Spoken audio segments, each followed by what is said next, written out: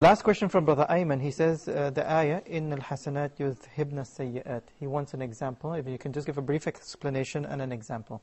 Uh, this verse states that verily good deeds erase bad deeds. And this is exactly what came in the hadith of the Prophet ﷺ when he advised one of his companions to fear Allah wherever he is and to follow every bad deed that he does with a good deed so that it would erase it. So this means that if you do something bad and you repent to Allah and you feel remorse, immediately do something that is good. For example, if you look at a woman with a bad look, and usually all forms of looking at women is a bad look. So you immediately go and pray two rak'ahs, or give 10 riyals as charity, or say something that is good, or ask Allah for forgiveness, then this would erase it with the grace of Allah. Okay.